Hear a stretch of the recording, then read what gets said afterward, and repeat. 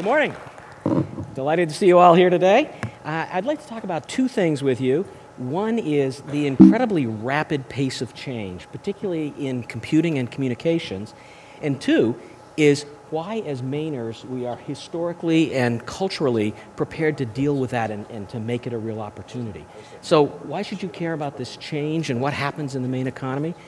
Interesting statistic 80% of the jobs you guys are going to apply for in the next 20 years haven't been invented yet. So that means you can't be taught how to do this job or that job.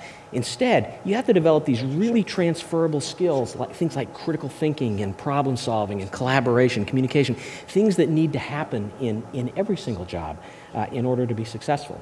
So let's talk about this pace of change business a little bit. Here's, here's the first cell phone. Now, the first cell phone call was actually completed, completed in 1973, but you couldn't buy a cell phone until 1983. And when you did, it was a monster. It was 10 inches long, it weighed two and a half pounds, it cost 4,000 bucks, and all it did was make phone calls.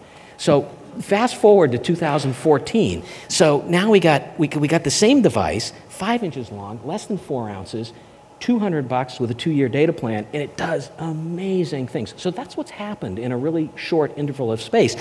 And uh, in 1991, the first cell phone network was fired up so people could actually talk to each other via their cell phones. And, and this year, there are 6 billion cell phone subscriptions. Think about that for a second. There's only 7.1 billion people on the planet, and not all of them have cell phones. So that's where we've come with cell phones. Now let's talk about the World Wide Web. First website went up in 1991. For some of us in this room, that doesn't seem like that long ago.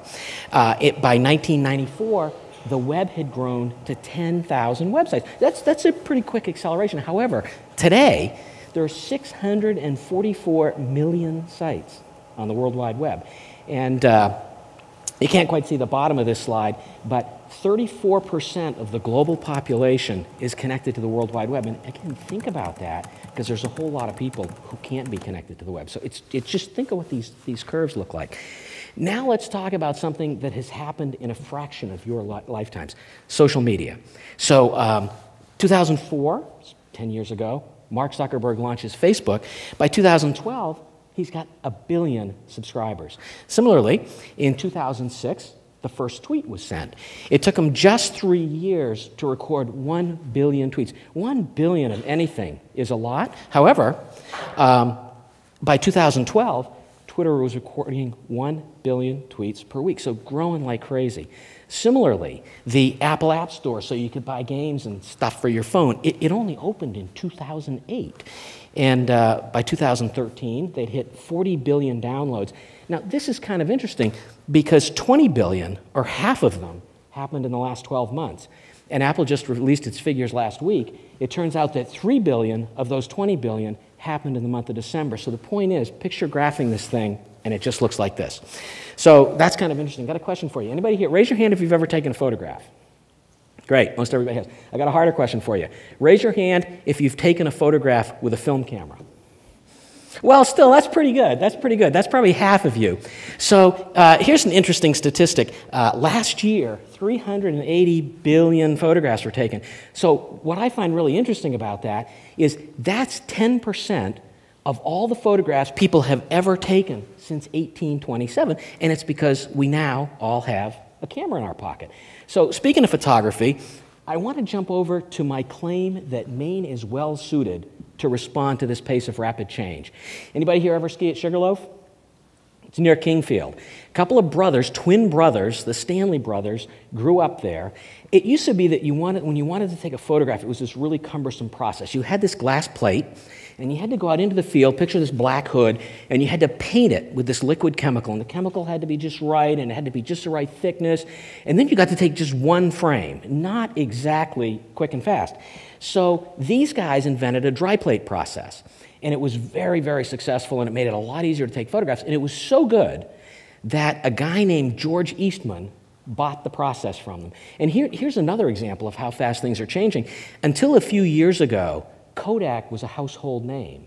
because they sold us originally our cameras and all along the way the film to put in our cameras to take pictures. And now I suspect there are even people in this room who would say, Kodak, hmm, not a company I've heard of, because you don't hear of them very much because the world has changed and they didn't change with it. So, key point about inventors if a, if a person invents one thing, it's highly likely that that person is going to invent other things. It's kind of the inventive mind. So the Stanley brothers made a lot of money selling their film process and they decided that they wanted to build steam cars. Kind of a crazy thing to do out of Kingfield, Maine, but they did it anyway. And here's F.O. and his wife, and they're driving up Mount Washington. This was the first motorized vehicle to ascend Mount Washington. Well, car people tend to have this other thing where they like to go fast. So they were doing pretty well, so they said, let's go for the world land speed record for steam vehicles. So they build this car, and, and look at when this was. This is 1906. This was the turn of the last century. This was a long time ago. They made that car go 127.7 miles per hour. That's fast today. So people who are into cars are always trying to beat somebody else's record. So you'd think, eh, enhancements in aerodynamics, material science, propulsion systems. I mean, in five years, somebody probably beat that record, right?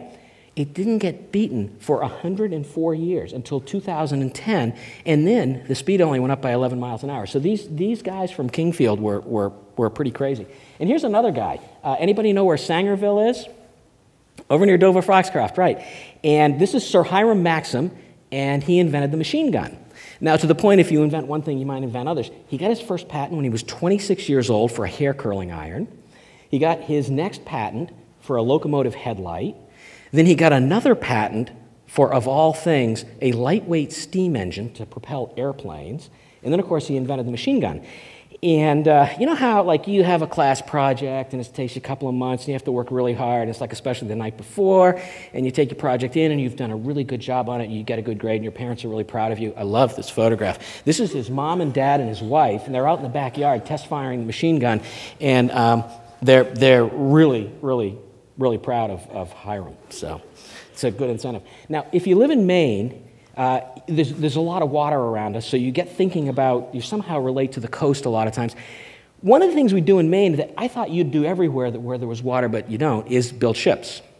So this gets to my point that Maine is, is and Mainers are really well suited and have a lot of experience at being global. So this ship was built in 1872. Amazing fact in 1870, 10% of all the licensed sea captains in the United States came from one town, Searsport, Maine. I'd love to know the number if you took all the coastal towns where sea captains came from. And not only did these guys have to understand how to build a ship, then they had to crew the ship, and then they had to do business in ports around the world. And Searsport, Maine was known in every port around the world because so many sea captains came from there. Another kind of household word around here uh, is, is Bath Iron Works. They've been around for, I think it's 134 years now. They've built a lot of ships. And very resourceful in doing what they need to do when they need to do it. These are big, these are destroyers in World War II. They launch a new ship every 17 days. Think about that. That's amazing. So then in the late 60s, when the defense budget wasn't quite what it had always been, but they wanted to keep employing people, they saw this opportunity to bid on these cargo ships, and they said, Oh, we build ships, we can figure that out. So, sure enough, they started building these ships. Now, today, the U.S. Navy is building the most sophisticated floating vessel that it has ever been conceived. It's called the DDG 1000. It is so expensive $1.4 billion for one ship that the Navy's only going to build three of them, but Bath Iron Works is going to build all three. So, but, but Bath Iron Works is not the only Maine based company that is nimble and lives by its wits. There's a company uh, headquartered in Pittsfield. It's called Cianbro, started by four brothers in 1949. They bought some dump trucks. And basically, what they did is build these really high quality bridges. So they branched out from bridge building in Maine to New England and then the East Coast. And they realized that they had some gaps to fill in and they kind of had to do some other stuff. So there was this company down on the Gulf Coast who was building these oil exploration rigs for a Brazilian oil company, very sophisticated, 12,000 tons behemoths. And that company in the US went bankrupt. And Cianbro said, Well, we've never built oil rigs before, but geez, we build paper mills and they're really complicated. We could probably figure it out. So they bid on the job and they got it. And that's kind of what I mean about Maine people having a lot of skills to bring to the party, but also some confidence and some willingness to try new stuff. Now, Cianbro is still making headlines on the Portland waterfront. Anybody seen this? Anybody know what this is? It's Google's new barge to promote Google Glass. There's two of them. One's going to be on the West Coast, one on the East Coast. And here's this construction company in Pittsfield, Maine, who got hired by Google to outfit their barge. Now, Cianbro's never built a retail space before, and who would think that bridge builders would go to work for Google, but there they are on the Portland waterfront, and it's really epic. And it's, it's not the only new thing they've jumped into. These are very large. There are three of these big windmills. Um, it's called the Fox Island Wind Project on Vinalhaven to generate electricity because, of course, electricity is really expensive out there and there's a lot of wind. So as soon as Cianbro saw that these windmills were going to get installed, they said, well, geez, we could do that. And, you know, now they have a company that installs windmills. And it's funny, as I was preparing this talk, um, sort of new bits kept coming up. So literally, I didn't know about this when I sat down to write this talk. But there was a story, there's a, the first offshore wind project in Maine. And you're going to hear a lot more about offshore wind today from the master. Um, and, uh, and so this is the first one. It's called Cape Wind. There are going to be 130 really big turbines. Siemens, which is a German company, got the job to build the, the turbines and the towers, but they hired Cianbro to do all the work to connect these 130 windmills together and to get the power on shore and have it do what it's supposed to do when it gets here. And just that piece, just the electrical piece for this project, the Cianbro contract, $100 million. So, so very interesting because they hadn't done that before either, but they said, huh, we know enough that we can figure that out. So uh, I mentioned, uh, uh, well, I didn't actually name it, but uh, Habib is going to be here and he's going to be talking about the DeepCwind Consortium. What is so clever about what Habib has done is he's pulled together all the interested parties, and instead of setting up this big competitive thing, so for instance, Bath Ironworks and Cianbro are both part of the DeepCwind Consortium. So Maine is going ahead with a single voice to see if we can't build ocean windmills, but I, but I really want to let Habib talk about it because he knows way more than I do. So now let's get back to education because you guys are in school, and something different is going to happen in the next four years. So what does this all mean for you? Well, when you were in the seventh and eighth grade, you were issued your own laptop computer, and many of you, all the way through high school, have continued to have your own computer connected to high speed internet access in your classrooms. This was a very interesting experiment launched by then Governor Angus King, who believed that if every Maine child knew how to use a computer, he or she would be better prepared for life and work in the 21st century. And I'd say his instincts were pretty good. Here's an interesting little factoid while 11% of children between the ages of 2 and 5 can tie their own shoes, it turns out that 70% of that same group of kids know how to use a tablet computer. So here's my ambition for Maine's public education system. Let's say it's five or six years from now, and you're applying for your first kind of real job, and it's a job you're really excited about, and you've made it all the way to the finalist pool. There are three of you, and just imagine the hiring committee is sitting around the big wooden conference table, and instead of saying, I think we should hire her because she has a degree in information technology, what if they said, I think we should hire her because she's from Maine? That's my ambition for each one of you. Thank you.